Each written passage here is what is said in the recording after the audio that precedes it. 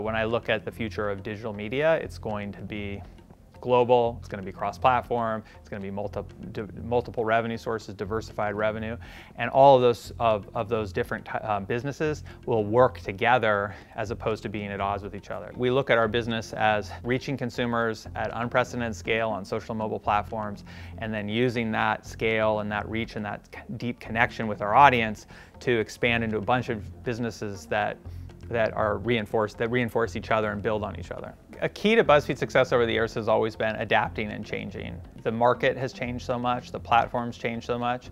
Um, at first, there was an explosion of, of different new platforms.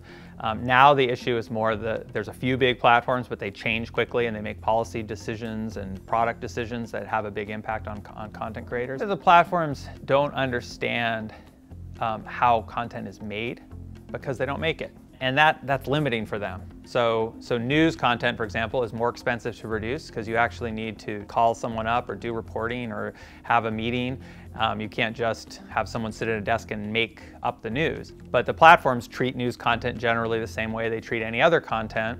And so um, so that leads to people sitting in a room making up news, which is really bad for the world and bad for democracy because there's not an economic model that, that, that says, hey, this content costs more and it's important to get it right and we need to spend more. I think the place where um, there our bigger challenges in the industry are companies that have really invested a lot in a cost structure that's made for, for print or for TV, and then the economics of digital are very different. You have to be able to make more content at a lower cost that reaches a much larger audience in order to build a strong business. The worst example probably is local newspapers. Local reporting is, is really important, and it's very, no one has really cracked that model for, for, for digital. It costs the same amount of money to make a piece of content that is only, has an addressable audience of a couple million people instead of billions of people. There's a lot of pe smart people trying different things, but it is, it is a hard problem because the internet really favors uh, content that has global appeal.